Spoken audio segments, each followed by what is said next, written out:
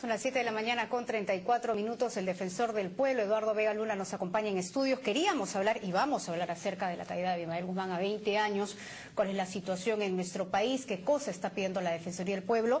Pero hay un tema más importante, el que hemos tratado hace algunos instantes, la muerte de esta pequeñita de 8 años eh, en el distrito de Santo Domingo, en Acobamba. Y eh, lo que ha dicho el alcalde, que en realidad no se trataba de niños secuestrados ni de pioneritos, sino de niños que iban al colegio, que estaban siendo beneficiados con el programa del vaso de leche, en fin, una serie de circunstancias que agravan la situación. ¿Cómo está? Buenos días. Muy buenos días, acompañarnos. Buenas buenos días. Por fortuna usted ha escuchado la entrevista, ¿verdad? Sí, claro. Imaginamos que tiene una opinión sobre el tema porque nos deja una sensación de que se nos está ocultando información.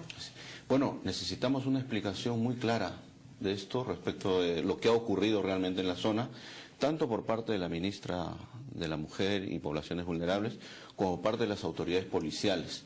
Efectivamente, nosotros nos enteramos de este tema por el alcalde, el señor Camarena. Que lo ha denunciado a la Defensoría. Claro, llegó a la Defensoría pidiendo apoyo y lo primero que dijimos es, si hay un niño muerto en esta comunidad de Acobamba, lo primero que hay que hacer es ir a recoger, a levantar el cadáver, y lo que hicimos es coordinar con el Ministerio Público y obviamente con el apoyo de la Policía Nacional para que se vaya a recoger este cadáver. Eso es lo que está ocurriendo, es como bien ha señalado el alcalde, una zona muy alejada, Ranrapata es una zona muy alejada, que había que salir por Junín, para, por Huancayo para volver a llegar a la zona, y eso es lo que se ha estado haciendo y eso es lo que ha tomado tiempo.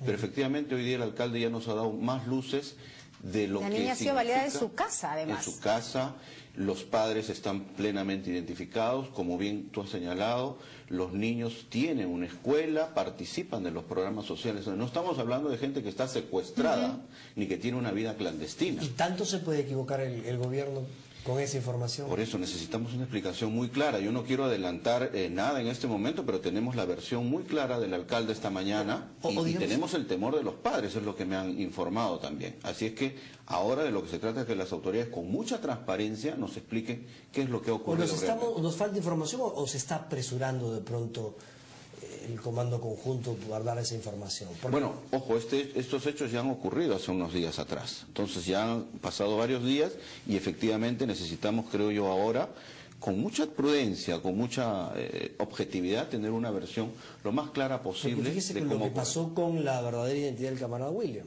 Así es. Todo lo que se generó por un error en un dato. Así es. Yo creo que ahí efectivamente... ¿Hay apresuramiento, dice usted? Yo lo que creo es que, eh, en primer lugar, necesitamos mucha transparencia al manejar este tipo de temas. Sé que la situación es muy difícil. Efectivamente, estas zonas de Ranrapata, Santo Domingo de Acobamba, son zonas de tránsito del terrorismo, del narcotráfico en general. Y efectivamente las familias pueden verse envueltas, pueden tener la presión, las amenazas de estos grupos. Y efectivamente nuestras fuerzas del orden están combatiendo también en estas zonas, zonas que están efectivamente con un problema de terrorismo muy serio, muy fuerte, ¿no? Entonces, sí necesitamos mirar con prudencia, pero ojo, ha perdido la vida una niña.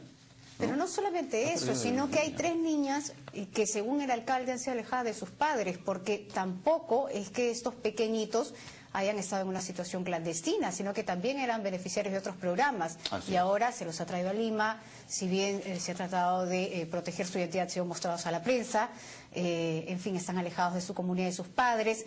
¿Qué situación se debe guardar con ellos? ¿Qué situación se debe, de alguna manera, no sé, salvaguardar la identidad, salvaguardar la situación con ellos? Por sobre todo tiene que estar el interés superior del niño.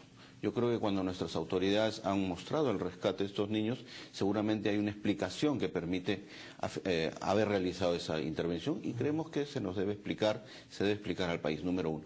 Número dos, efectivamente, cualquier medida que se adopte respecto a estos niños tiene que considerar, en primer lugar, que ellos necesitan de sus padres. Estamos hablando de niños de meses de nacidos, otro de cuatro años y otro de ocho años. Entonces necesitamos que en el más breve plazo se descarten las situaciones y que los padres, sobre todo la madre de esos niños, vuelva con ellos. El, más pequeño está todavía lactando y sin duda necesita la cercanía de sus padres.